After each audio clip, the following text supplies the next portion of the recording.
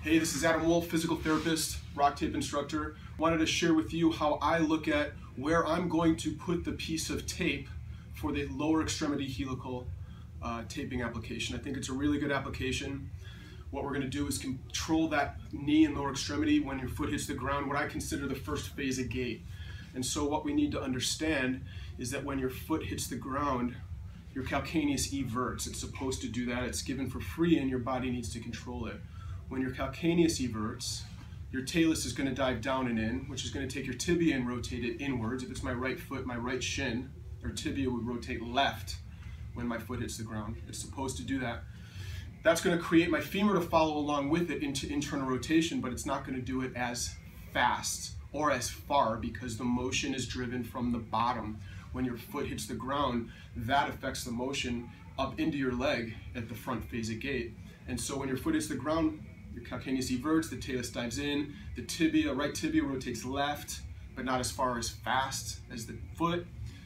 Your femur rotates left following the tibia, but not as far as fast. So you can envision if this is the tibia and this is the femur, my right foot hits the ground, they're both rotating in. The bottom bone needs to do it faster than the top bone.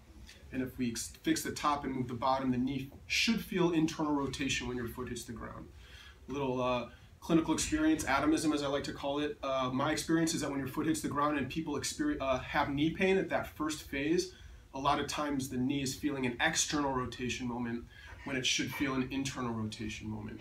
And so theoretically, if the, uh, we can place the tape for that helical application either on the femur or on the tibia to help to control the motion of whichever bone the tape is on. And so what I'm going to do is have my friend Eric come in here and uh, what I've done, I'm going to show you how I look at it. If we understand what the motions of the bone should do, uh, we can look for it. So what I like to do is put my hands on the bones and have them go through movement and see which one is moving faster. So I'm going to move over a little bit right here. You can see that I've put a piece of Rocktape right on his tibial line. And so if I'm going to look at his right foot, when his right foot hits the ground, if I'm going to look at that knee motion, so I'm going to have him start here. I'm going to put my hand on the tape, which is the tibial line. My other hand's going to be about mid-femur. Okay, so when his foot hits the ground, both my top and bottom hand should move in, I would expect to see the bottom hand move in further and faster than the top hand. So let's see if that happens. You can go ahead and start with your foot right here. And now you're gonna take a slight bigger step, go ahead. And you're gonna come back to that, in and out. You're gonna go in and out. Yep, so let's do it a few times.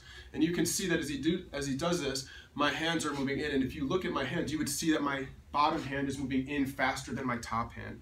And so that's getting the tibial internal rotation that I would expect to create knee internal rotation. It's happening faster. Let's see versus the other side, Eric. So move over a little bit. Okay, so I got my hand on the midline of the shin, bone right here. The other fingers even right in the mid femur. Go ahead and take that step again, in and out. And we could see that this knee is not getting uh, as much internal rotation. When his foot hits the ground, strike with your foot straight ahead, not out.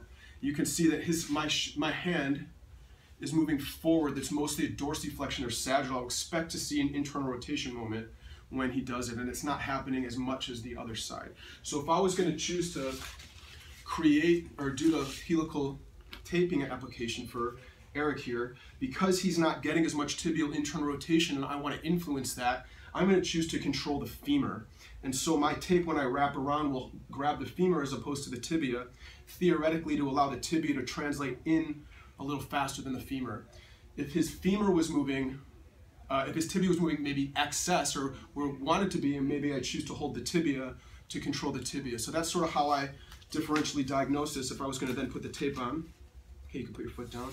So when I make this first wrap around, I would choose to grab his femur, bend your knee for me, his femur for the application because he's not getting as much tibia motion as I want him to. If he was getting the tibia motion or maybe had too much tibia motion, I might choose to control the tibia with this application of the uh, helix because that's going to theoretically, with the tape is, it's going to control the motion a little bit more. So again, that's just sort of some strategy that I use when I'm adding some tape and hopefully this spurs some discussion. Thanks.